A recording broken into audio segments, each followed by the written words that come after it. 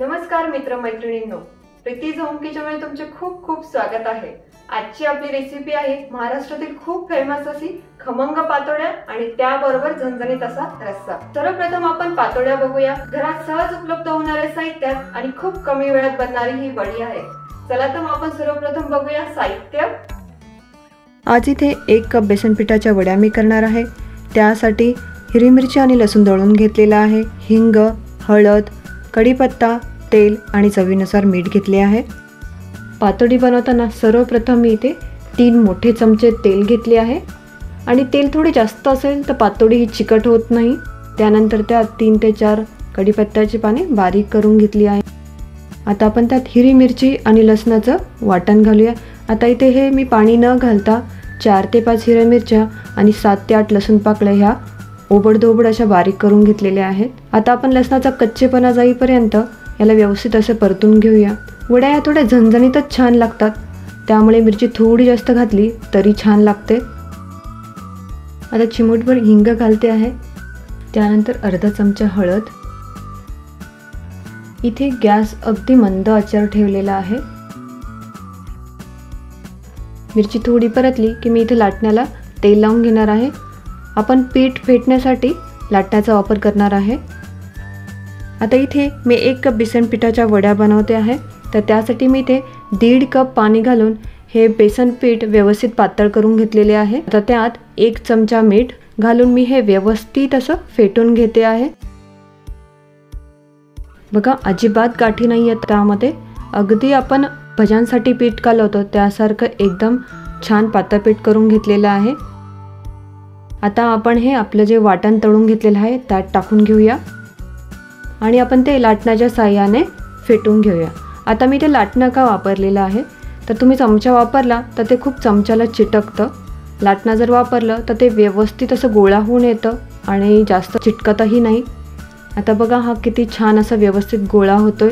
आपल्याला एकसारखं फेटत राहायचं आहे. जेणेकरून त्यामध्ये गाठी होणार नाही. थोड्या गाठी झाल्या तरी त्या लाटण्याच्या साह्याने असं वरतून काढून घेऊया. बघा किती व्यवस्थित असा गोळा झालेला आहे. आणि एकदम मऊ मऊ गोळा झालेला आहे. आता हे व्यवस्थित गोळा झालेले आहे. तर आपण याला झाकण लावून पाच मिनटं त्याची वाफ काढून घेऊया. आता हे मिश्रण पुन्हा एकदा मी खालीवर करून घेते आहे. आपण इथे पीठ व्यवस्थित शिजून घेतलेले आहे. कारण पीठ व्यवस्थित शिजल्याशिवाय वडा छान पडत नाहीत. आता गॅस बंद केला आहे. वड्या थापण्यासाठी ताटाला तेल लावून घेतले आहे. लगेच पीठ गरमागरम असतानाच या वड्याच थापायला घ्याव्यात. पीठ गरम असल्याने ते लवकर थापल्या जाते. हाताला थोडंसं पाणी किंवा तेल लावूनही तुम्ही थापू शकता. तुम्हाला जर जास्त गरम वाटत असेल तर तुम्ही वाटीला तेल लावून वाटीच्या साह्यानेही थापू शकता. आता मी हे एकसारखं असं पसरून घेतलेलं आहे. बघा किती छान थापल्या गेलेला आहे. आता याला चाकूच्या सह्याने लगेचच वड्या पाडाव्यात तुम्हाला पाहिजे तसा आकार तुम्ही याला देऊ शकता. ह्या वडीला पातोडी पातोड्या पाटवडी थापटवडी खमंगवडी अशी वेगवेगळी नावं आहेत. भरपूर अशी लसूण मिरची घातली की पातोड्या अगदी खमंग लागतात. आता यावर मी ताज्या खोबऱ्याचा किस भुरभुरते आहे.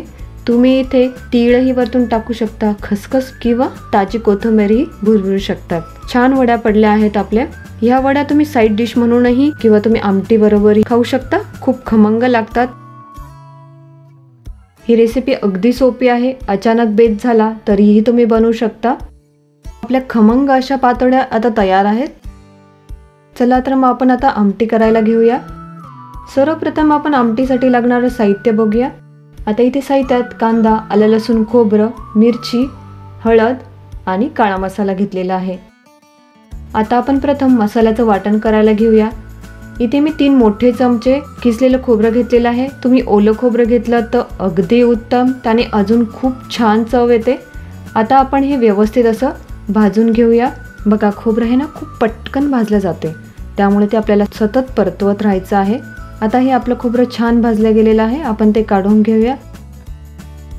आणि त्याच तव्यावर मी तीन मध्यम आकाराचे कांदे घेतलेले आहे. कांदा लवकर आणि छान भाजण्यासाठी मी त्यामध्ये तेल घातले आहे. आता आपण हे व्यवस्थित असं परतून घेऊया. कांद्यामध्येच लसूण चार ते पाच पाकळ्या आणि आलं दोन इंच. आता हे सर्व आपण व्यवस्थित असं रंग बदलेपर्यंत परतून घेऊया. कांदा आपल्याला थोडा जास्त भाजून घ्यायचा आहे. आमटीसाठी लागणारा कांदा हा थोडासा जास्त भाजलेला असेल तर छान लागतो. आता हा छान भाजलेला कांदा मी काढून घेते. खोबरं कांदा आणि त्याबरोबर खूप सारी अशी कोथिंबीर घेऊन मी हे बारीक दळून घेणार आहे. आता इथे आमटी करण्यासाठी तीन मोठे चमचे तेल गरम करत ठेवले आहे. त्यामध्ये चार ते पाच कढीपत्त्याचे पाने पाव चमचा हळद आणि दीड चमचा लाल मिरची पावडर. आमटी थोडी झणझणीतच छान लागते. तर आपण आता हे व्यवस्थित असं मंद आचेवरती मिरची परतून घेऊया. मिरची छान परतली की छान तरी येते. मिरची छान परतल्या गेलेली आहे. त्यामध्ये मी आता कांदा आलं लसूण खोबरं मसाल्याचं वाटण घालते आहे. आता मी हे व्यवस्थित असे परतून घेणार आहे. बऱ्याचशा महाराष्ट्रीयन भाज्यांमध्ये आमटी बनवताना कांदा आलं लसूण खोबरं वापरलं जातं. ती शेवची आमटी असो भज्याची आमटी असो त्यात दीड चमचा मीठ. मिठामुळे मसाला व्यवस्थित परतला जातो. आपण थोडासा मसाला परतला गेला की आपण त्यामध्ये आता काळा मसाला घालून घेऊया. इथे मी दोन चमचे गरम मसाला घेतलेला आहे. हा घरातला साठवणीतला मसाला आहे. हा थोडा जास्त भाजून दळलेला असतो त्यामुळे त्याची चव काही वेगळीच येते. तुम्ही बाजारातील गरम मसाला वापरला तरी चालेल. आता माझा मसाला खूप छान परतला गेलेला आहे. तेलही सुटले आहे आणि सुगंध तर भन्नाट सुटलेला आहे. आता मी यामध्ये गरम पाणी टाकून घेते आहे. मसाला आपला गरम आहे पाणीही गरम टाकले तामटी लवकर उकळते. आता आपण हे व्यवस्थित असे मिसळून घेऊया. आता तुम्ही इथे आमटी तुम्हाला आवडेल त्याप्रमाणे कमी जास्त प्रमाणात पाणी करू शकता. तुम्हाला घट्ट पाहिजे तर कमी पाणी घाला. आता यामध्ये आपण वरतून ताजी अशी कोथिंबीर घालूया. बघा किती छान तरी आलेली आहे आपल्या आमटीला. एकदम सुंदर दिसते आपली आमटी. खूप छान वास येतोय. आपली मस्त अशी चमचमीत आमटी तयार आहे. आता तुम्ही इथे पातोड्या आमटी उकळतानाही टाकू शकता किंवा तुम्ही त्या ताटामध्ये बाजूलाही पातोडी ठेवू शकता. आता ही आमटी भाकरीबरोबर पोळीबरोबर भाताबरोबर अगदी उत्तम लागते.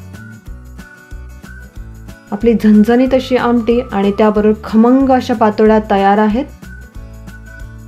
तुम्हाला जर आजची रेसिपी आवडली असेल तर नक्की बनवून बघा आणि कमेंट बॉक्समध्ये मला कळवा. अशाच अजून रेसिपीजसाठी प्रीतीज होम किचनला नक्की सबस्क्राईब करा. पुन्हा भेटूया अशाच एका रेसिपी बरोबर. तोपर्यंत बनवत राहा खात राहा मस्त राहा.